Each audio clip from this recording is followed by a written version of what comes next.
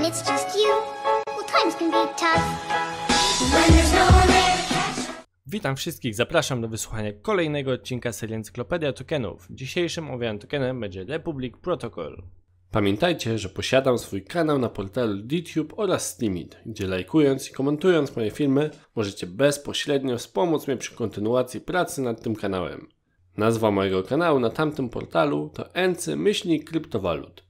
Zapraszam do zostawienia tam subskrypcji, a jeżeli nie wiecie na czym polega ten portal, to zalecam Wam obejrzenie mojego filmu na ten temat, który znajdziecie u mnie na kanale. No nie robiłem jeszcze nigdy analizy dla żadnego przedmiotu, ale ostatnio w komentarzach jakimś cudem samolot 1337 poprosił mnie o właśnie zrobienie analizy tej kryptowaluty Republic Protocol, no dlatego ją też wybrałem.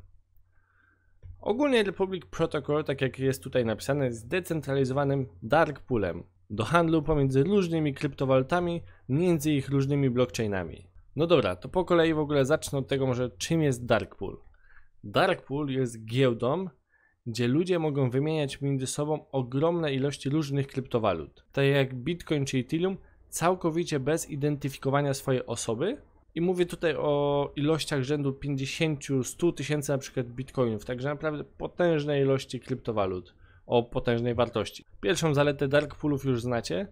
Teraz drugą zaletą jest to, że takie dark poole posiadają całkowicie ukryty order book. To znaczy, że możecie składać swoje zlecenia i nikt tak naprawdę w order booku nie wiedział będzie, kto to złożył i w jakiej ilości ten zlecenie zostało złożone. Że jeżeli złożycie zamówienie na 50 tysięcy bitcoinów, nikt o tym się jawnie tak naprawdę nie dowie. Trzecią poważną zaletą tych dark pool jest to, że dają wam możliwość spiknięcia się ze sprzedawcą, który powiedzmy chce właśnie sprzedać 50 tysięcy bitcoinów po jakiejś ustalonej cenie, nawet czasem mniejszej niż jest to na giełdzie. No bo załóżmy, co by się stało, gdybyście chcieli kupić 50 tysięcy bitcoinów na giełdzie. Na takiej zwykłej giełdzie. Wchodzicie na Binance, przelewacie tam kupę milionów dolarów, wchodzicie sobie na trade, no i składacie zlecenie na 50 tysięcy bitcoinów. Załóżmy, że bitcoin jest po 5000 dolarów. To skupując te bitcoiny, patrząc na płytkość tego rynku, to przy jakiej cenie te 50 tysięcy bitcoinów zostałoby skupione tak naprawdę? Zaczęlibyście pewnie od 5 tysięcy i byście tak wywindowali ceny do góry, żebyście skończyli pewnie na 10 tysiącach dolarów.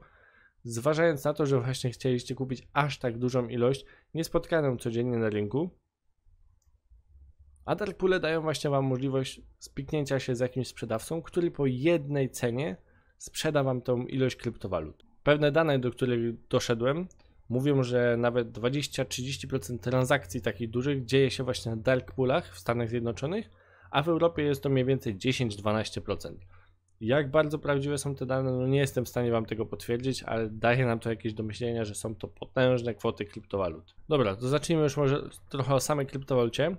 Republic Protocol da użytkownikom naprawdę parę ciekawych funkcji. Pierwszą funkcją, tak jak powiedziałem, będzie wymiana między użytkownikami potężnych ilości kryptowalut za pomocą atomic swapów. Jak to się dokładnie ma odbywać? Można przeczytać sobie w white paperze, to jest bardziej szczegółowo to opowiedziane. Ogólnie protokół dzieli całą sieć na mniejsze cząsteczki.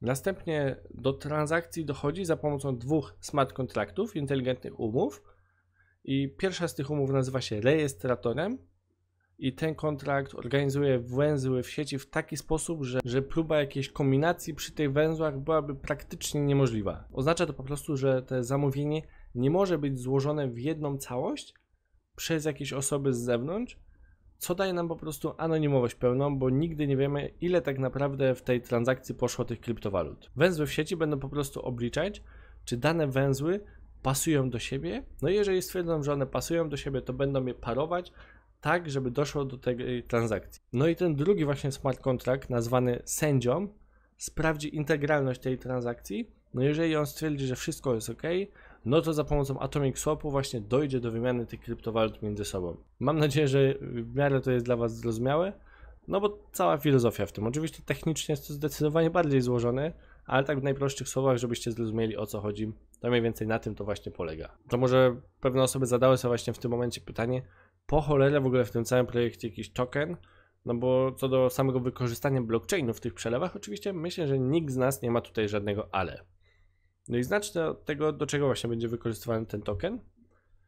Token REN, bo tak w skrócie się nazywa, będzie wykorzystywany po pierwsze jako token motywacyjny do uruchamiania właśnie tych dark tych węzłów, bo węzły właśnie w tej sieci będą nazywane dark nodami. Żeby w ogóle stworzyć takiego dark jak sobie wyczytałem na tej stronie, trzeba będzie posiadać minimum 100 tysięcy renów. No czyli na ten moment jakieś 3,5 tysiąca dolarów.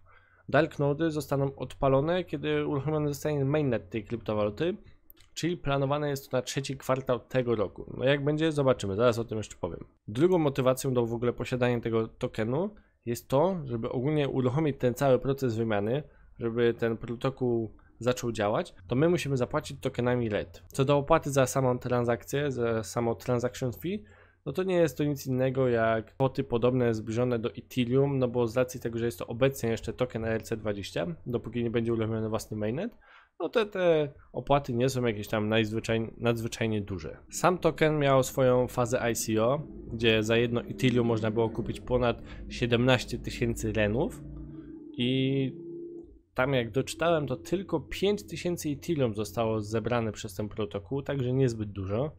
Ogólnie do sprzedaży zostało wydanych 60% tych tokenów, co też nie jest zbyt dużą ilością, co nigdy mi się nie podoba, jeżeli kryptowaluta daje taką małą ilość tokenów na sprzedaż, bo tylko 60%. Co do, co do samego wykresu, to tak jak widzieliście, jest to na ten moment 3,5 centów. Total supply maksymalny to jest 1 miliard, krypt, 1 miliard renów. Nie jest on na zbyt wysokiej pozycji, bo dopiero 258 w rankingu. W szczycie osiągnął on mniej więcej 12-13 centów, także no spadł trzykrotnie od tego czasu. Co do samych giełd, to jest on dostępny na kilku giełdach. No na jednej troszkę większej, na OKX-ie, tu jakiś Hadax, UX, Liqui. No, tak jak mówiłem, kolejna kryptowaluta z dalszej pozycji, niestety nadal problem z giełdami na takich kryptowalutach. Powiem jeszcze wam może o kilku kwestiach, które mi się nie podobają. Nie podoba mi się team, tak jak wyczytałem w white paperze i tutaj na pewnej stronce. Team jest niedoświadczony. Sam prezes ma około 3 lat doświadczenia dopiero. Programiści to są osoby z rocznym lub dwuletnim stażem w pisaniu blockchainów. Także ja nie wiem, czy takie osoby są w stanie napisać takie ciężkie rzeczy jak Atomic Swapy i dowozić co najważniejsze te rzeczy na czas. Ok, powiedzmy, że one dadzą radę, no ale czy zrobią to na czas? No bo jak mają mieć roczne czy dwuletnie opóźnienie, to niestety w kryptowalutach na ten moment to jest zbyt długi czas i nie można mieć takich opóźnień, jeżeli w ogóle chcemy liczyć się na rynku. No ale żeby nie było tak smutno, to sam projekt jest naprawdę potrzebny, jeżeli wypali, to może odnieść sukces. Kryptowaluta jest śmiesznie tania, jak na ten moment przynajmniej. Bo dark poole są potrzebne, te osoby chcące kupić zdecydowanie większej ilości tych kryptowalut nie zrobią tego na giełdzie przez to co powiedziałem, przez tą rosnącą cenę w trakcie zakupu tych kryptowalut. Ale niestety, no, Republic Protocol ma w tym momencie konkurencję. I to nie mówię o konkurencji związanej, związanej z samym projektem jakimś blockchainowym, ale takie scentralizowane po prostu miejsca, instytucje finansowe, które zajmują się parowaniem właśnie tych osób, aby dać im możliwość zakupu tych potężnych ilości kryptowalut, czy tam akcji, czy czegokolwiek innego. A tak poza tym, to mają cholernie brzydką stronę internetową, jakieś takie białe tło, ciapkowate, no ale co kto lubi, to już tak tylko się przypierdzielam. Zachęcam do przeprowadzenia własnego researchu na temat tej kryptowaluty, jeżeli chcielibyście w nią zainwestować. Zachęcam do przeczytania całego white paperu, zanim jakiekolwiek pieniądze wpakujecie w ten projekt. No a ja idę teraz montować kolejny film na kanał, gdzie powiem, kiedy kryptowaluty staną się prawdziwym środkiem płatności, kiedy to nastąpi, co musi nastąpić i dlaczego obecnie nie są one środkiem płatności.